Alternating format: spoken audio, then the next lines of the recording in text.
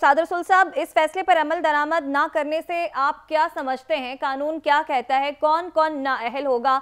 किस पर ज़िम्मेदारी आयद होती है? हसन जो हमें खबर दे रहे हैं, वो यही दे रहे हैं कि लोग कुछ नून लीग में ऐसे हैं जो चाहते हैं कि ज़िम्मेदारी सारा मलबा जो है वो शहबाज शरीफ साहब पर पड़े।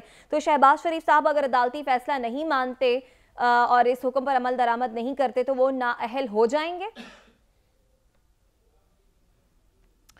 देखिए हमारे पास यूसुफ रज़ा गिलानी साहब के केस के अंदर ये एग्ज़ाम्पल तो मौजूद है और उस हम्म। वक़्त राजा परवेज़ अशरफ के साहब के ख़िलाफ़ जो उनके बाद प्राइम मिनिस्टर बने हम्म। उनके ख़िलाफ़ भी कंटेम्प्ट की प्रोसीडिंग सुप्रीम कोर्ट ने शुरू कर दी जो कि तब ख़त्म हुई जब ख़त लिख दिया गया तो कानून के अंदर ये क्या इख्तियार है सुप्रीम कोर्ट का शहबाज शरीफ साहब को डिस्कालीफाई करने का अगर वो कंटेम्प्ट ऑफ़ कोर्ट कर रहे हों तो बिल्कुल ये इख्तियार हम्म। मौजूद है हमारे पास इसकी नज़ीर भी मौजूद है लेकिन मेरा नहीं ख्याल कि सुप्रीम कोर्ट को इस तरह का सियासी खून खराबा करना पड़ेगा।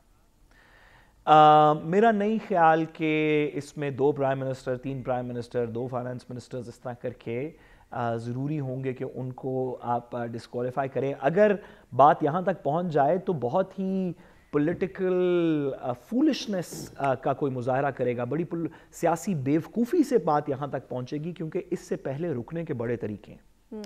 सुप्रीम कोर्ट को और हम सुप्रीम कोर्ट के फैसले के अंदर मैं बसद एहतराम गुजारिश करूँ कि हमें तफरीक करने की ज़रूरत है कि पी डी एम का एक सियासी मौक़ है कि हम इस फैसले को नहीं मानते जिसमें तमाम सियासतदान प्राइम मिनिस्टर साहब भी सियासतदान हैं दीगर उनकी कैबिनेट के मेंबर्स सियासतदानों ने कहा कि हम इस फैसले को नहीं मानते लेकिन दूसरी तरफ़ इस सियासी पीडीएम के साथ साथ हम्म। एक रियासत है जिसके के अंदर सियासी लीडर्स ऊपर ज़रूर हैं लेकिन नीचे पूरी रियासत की मशीनरी है। जी सादर आईजी पंजाब को जब तलब करके सुप्रीम कोर्ट एक हुक्म सादर करेगी और कहेगी कि आपके पास दो ऑप्शंस हैं या ये आप हुक्म इंप्लीमेंट कर लें या आपके खिलाफ कंटेम्प्ट की कार्रवाई कर देते हैं तो आईजी हम्म। पंजाब साहब वो हुक्म सादर कर देंगे। ठीक है।